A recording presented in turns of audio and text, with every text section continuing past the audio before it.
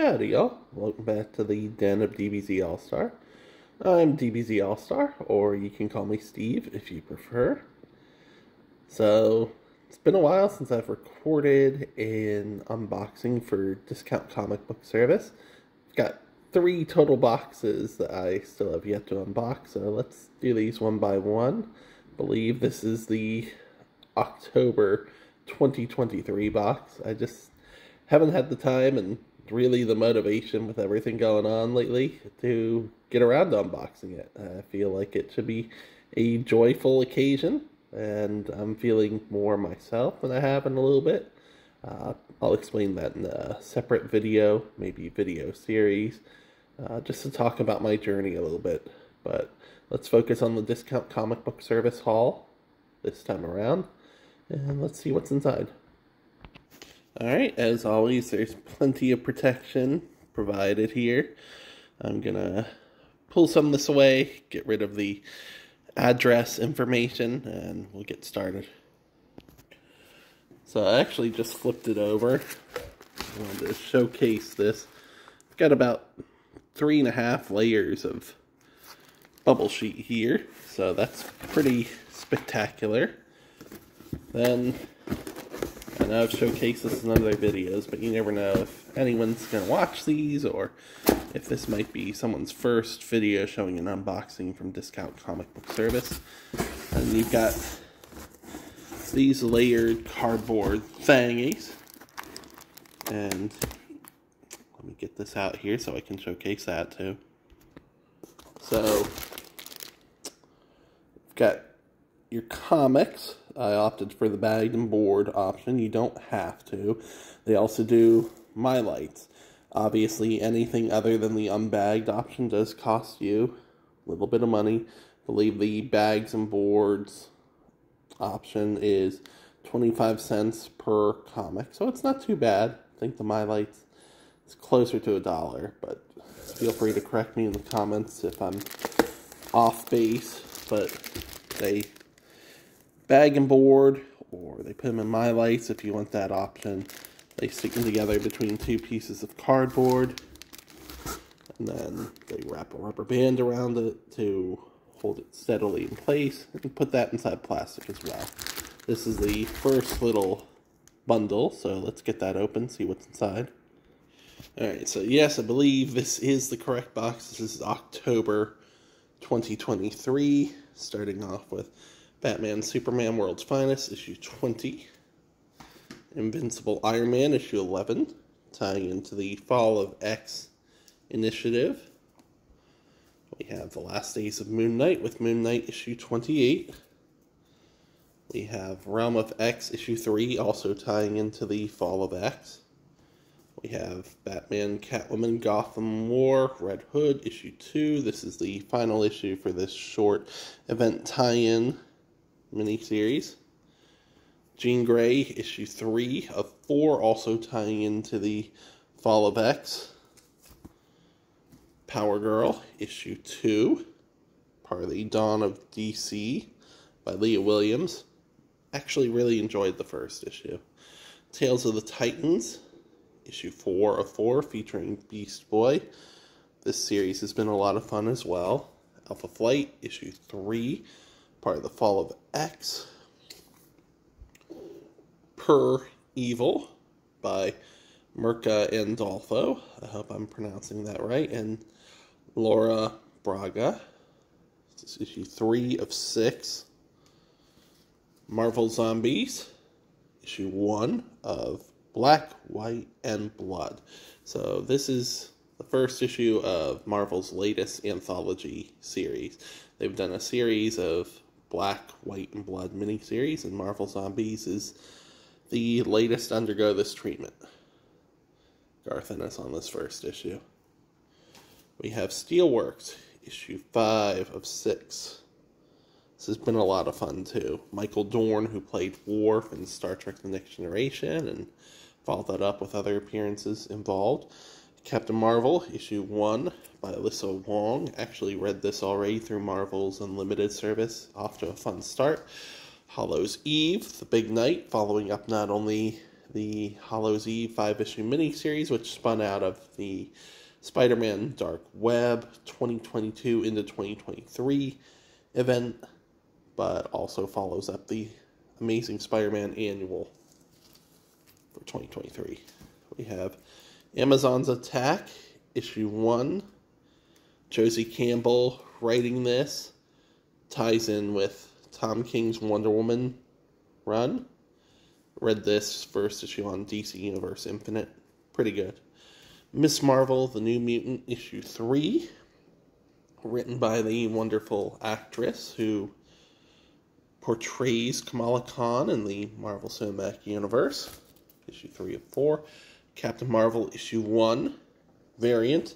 Love the costume redesign. Captain Marvel, Dark Tempest, issue 4 of 5 by Ann Nocenti. This series has just been alright. Uh, Red Goblin, issue 9 of 10, apparently.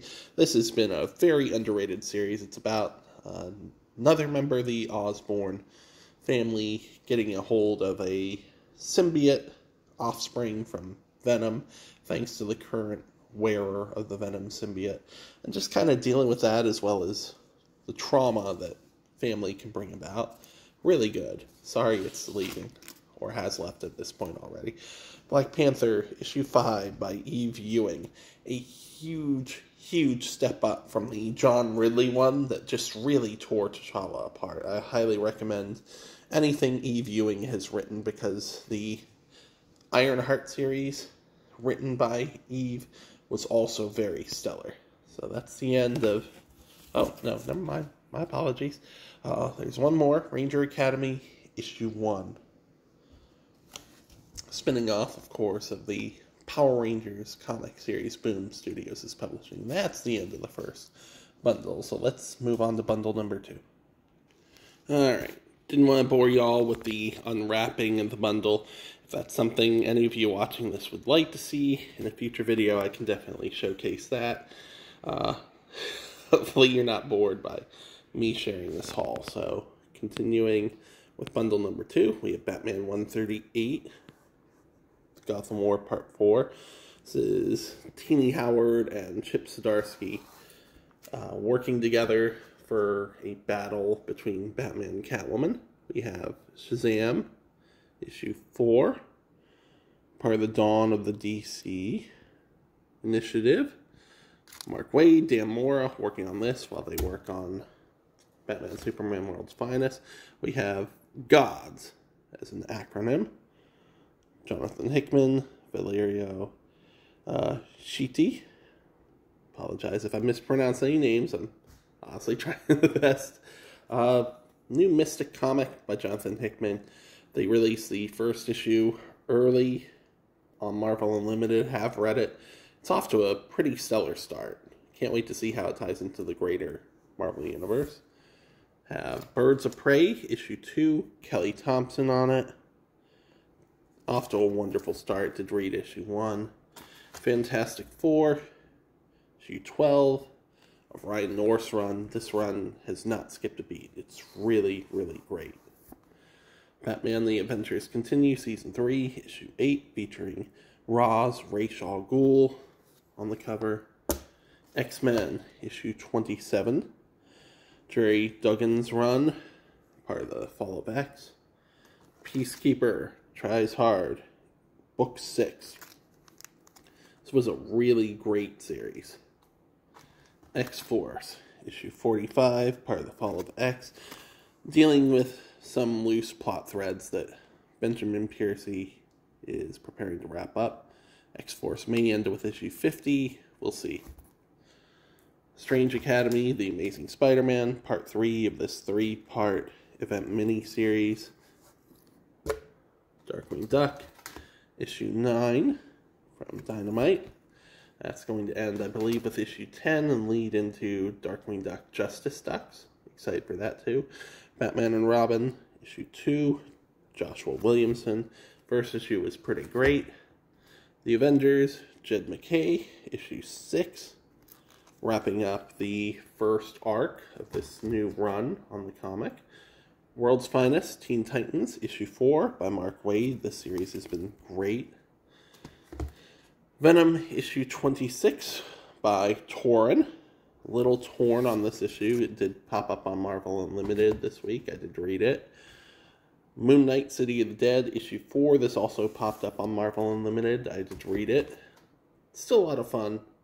Uh, kind of tying into some of the MCU series stuff, but still works within the context of Jed MacKay's current run. Spider Man India, issue 5, was originally meant to be a four issue series, got expanded to five. It's been great the whole way through. And there's a little bit of a tie in to Spider Man Across the Spider Verses, Spider Man India, so that's great too. The Cull, this is issue 3, Kelly Thompson on it. Haven't started reading that yet. I will get around to it. And we've got one more bundle. Let me get that out and get started. Alright, we have Gargoyles. The Halloween special, issue 1. This is a variant cover featuring Demona. It's a pretty complex character all throughout the Gargoyles television series and in the various comic runs. We have Gargoyles, Halloween special, I believe. This is a standard cover. Have Halloween, er, Halloween, uh, Harley Quinn, Black, White, and Redder, issue 4. I think this is the Chris Bachalo variant. Feel free in the comments to correct me if I'm wrong on any of these. Uncanny Spider-Man, issue 2, tying into the Fall of X. Dark X-Men, issue 3, tying into the Fall of X. This series has been a lot of fun so far. The writer's going to write a Dead X-Men five-issue miniseries as part of the Fall of X as well. Red Sonja has Torunn Grønbekk on the series. It's been pretty great so far. Really allowing the character to cut loose. This is issue 4. This is Tom King's Wonder Woman, issue 2, part of the Dawn of DC. Also has a prologue for Amazons Attack. Captain America, issue 2 by Straczynski, featuring Spider-Man, a character that JMS loves to write. Uncanny Avengers, issue 3. Gerry Duggan on this, tying into the Fall of X. Incredible Hulk, Philip Kennedy Johnson, this is issue 5. Really, really good series. Catwoman, issue 58, this is the Gotham War Part 5. Batman White Knight presents Generation Joker. This is book 6. This is the concluding issue. I did not enjoy this miniseries, but I do enjoy the White Knight material, so I might stick with it. We'll see. Justice League versus Godzilla versus Kong, issue 1. Have read this through DC Universe Infinite. It was spectacular. A lot of fun. Miles Morales Spider-Man, issue 11 featuring Blade. This relaunch series has been really, really good. Check it out. Avengers Inc. This is issue 2 with Al Ewing. Ewing wrote an Ant-Man anniversary series and a Wasp anniversary series that both lead into this. It's sad this is getting canceled with issue 5. It is it has really been good. Big Game. Issue 4 of 5. Mark Millar tying in many of his creator-owned franchises. It's been a lot of fun. A little gratuitous, but I expect that from Mark Millar from time to time. Children of the Vault, issue 3, part of the Fall of X, four-issue miniseries, leads into the cable miniseries, also as part of the Fall of X, that launches in January 2024, so this month. Hawkgirl, issue 4 of 6, part of the Dawn of DC. Took a while to get going, Still a lot of fun. And finally, Astonishing Iceman, issue 3, also tying into the Fall of X. So give me one second and I'll show off what the stacks look like together. Alright, oh no, that's what the stack looks like. Let me uh, take a Blu-ray disc here, show you the height. So here we have Scream 6. It's about as tall as a Blu-ray case. And believe it or not, that is a reduction of my pool. It will get even smaller following the end of some story arc, some mini series, and probably the fall of X, but we'll see. Discount Comic Book Service offers a pretty stellar discount, and most of these are series that I enjoy but can kind of hold off on. I still have a pull list at a local comic book store for series I do have to read right away. Uh, I have not done a haul video for that for several months, so I've got all those together in a long box. I will showcase those for anyone interested in watching these videos. Just kind of like to show off my interest and communicate with the greater community out there. So thanks for tolerating these videos. Thanks for watching. You just stay healthy, stay safe. Happy New Year. We've made it to 2024. I hope it's going better than 2023 for y'all if 2023 was not the year. Remember that the year is what you make of it. You can start off in a negative headspace, but you can achieve a positive headspace as well. I'll probably be doing a series later this year dealing with mental health, even though I'm no expert. We all have our own journey. But want people to feel loved, valued, and supported. So once again, stay healthy, stay safe, be well. Thanks for watching.